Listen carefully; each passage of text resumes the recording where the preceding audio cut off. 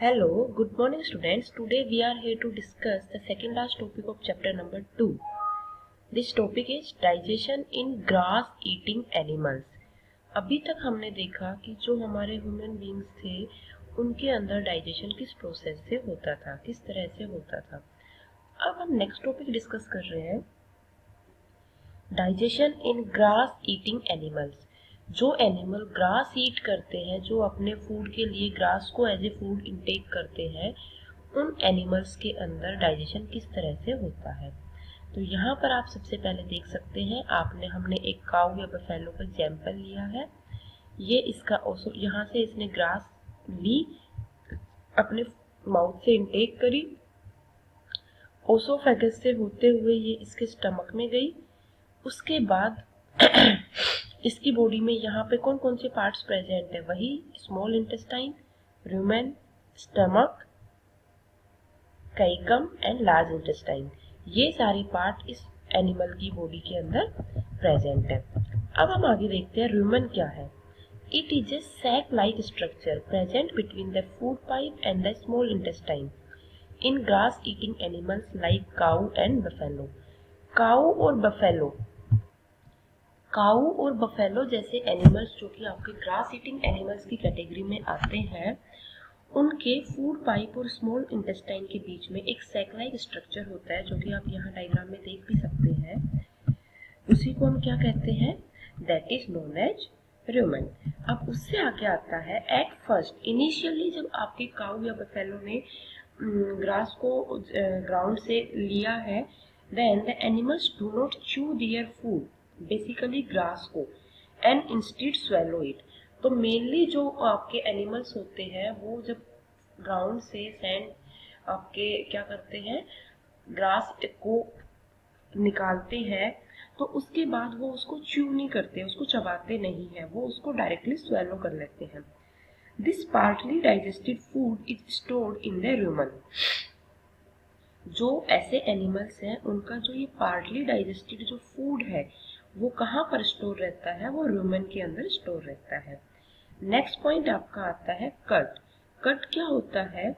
जो partly digested food present in the rumen is called cud जो भी आपका कट रूमन के अंदर जो भी फ़ूड आपका स्टोर रहता है that food is basically partly digested वही फ़ूड आपका क्या कहलाता है? कट कहलाता है। रूमिनेशन रूमिनेशन प्रोसेस क्या कहता है? The curd returns to the mouth in these animals and then they chew it. This is called rumination. हमने बताया कि जब भी कोई एनिमल आपका काऊ या बफेलो जो ग्रास ईटिंग एनिमल होते हैं, ये एनिमल जब ग्रास को निकालते हैं तो वो डायरेक्टली उसको च्यू नहीं करते, वो उसको स्वेलो कर जाते हैं और जब वो स्वेलो हो जाता है तो उसके बाद में वो जहाँ पर स्टोर किया जाता है that is known as rumen और वहाँ पर जो आपका फ़ूड है, वो किस फॉर्म में रहता है? पार्टली डाइजेस्टेड फ़ूड फॉर्म में रहता है। उस पार्टली डाइजेस्टेड फॉर्म को हम क्या कहते हैं? कड कहते हैं। अब वो जो कड है that returns to the mouth of that particular animal and then they chew it this process is basically rumination जो आपका अंदर जो फ़ूड उन्होंने स्टोर कर रखा है रोमन में, वहाँ से वो थोड़े थोड़े फ़ूड को वापस अपने माउथ में लेके आते हैं, उसके बाद वो उसको चू करना स्टार्ट करते हैं। उसको कम्प्लीटली चू करते हैं डाइजेस्ट करते हैं। यही जो प्रोसेस है this is basically known as rumination next आपका है रूमिनेंट्स क्या होते हैं? The animal that swallow their food at first and then chew it later on तो देखो, वही रूमन क्या है, जहाँ पर स्टोर किया जाएगा दैट इज़ रूमन रूमिनेशन जिस प्रोसेस के थ्रू वो वापस से रूमन से अपने फ़ूड को कट को लेते हैं और उसको चू करते हैं दैट प्रोसेस इज़ रूमिनेशन और रूमिनेंट्स क्या होते हैं? ऐसे एनिमल जो कि ये प्रोसेस करते हैं। पहले वो स्वेलो कर जाते हैं और उसके बाद वो च्यू करते हैं। ऐसे एनिमल्स को हम क्या कहते हैं? रूमिनेंट्स कहते हैं।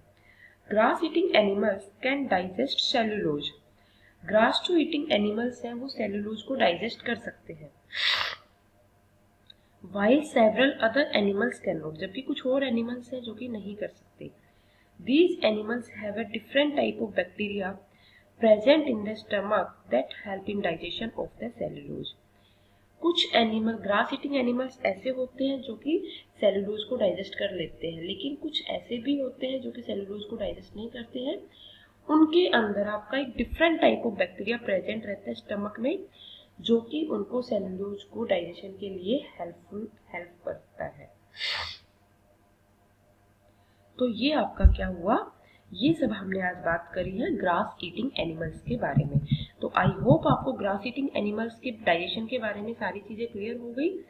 सबसे पहले हमने देखा रूमन क्या होता है। फ़ूड पाइप और स्मॉल इंटेस्टाइन के बीच में एक सेकलाइक स्ट्रक्चर प्रेजेंट होती है दैट इज़ रूमन जो ग्रास ईटिंग एनिमल होते हैं, वो डायरेक्टली आपके जो ग्रास होती है, उसको चू नहीं करते हैं, वो डायरेक्टली उसको स्वेलो कर जाते हैं। उसके बाद वो उसको क्या करते हैं? वापस लेते हैं और उसको चू करना स्टार्ट करते हैं। इसके बाद क्या होगा? जहाँ पर वो स्टोर करके रखते हैं, वो रूमन कहलाता है। जो अनडाइजेस्टेड फ़ूड होता है पार्टली डाइजेस्टेड फ़ूड होता है, उसको कर्ड कहते हैं। और जो आपका ये प्रोसेस है, जिसके थ्रू वो वापस अपना फ़ूड को लेते हैं और उसको चू करना स्टार्ट करते हैं that is basically known as rumination और ऐसे एनिमल्स को हम रूमिनेंट्स कहते हैं। तो आई होप आपको ये सारी चीज़ें क्लियर हुई। इससे आगे हमारा लास्ट टॉपिक बचता है feeding and digestion amoeba we will discuss this point in the next class thank you बच्चे। God bless you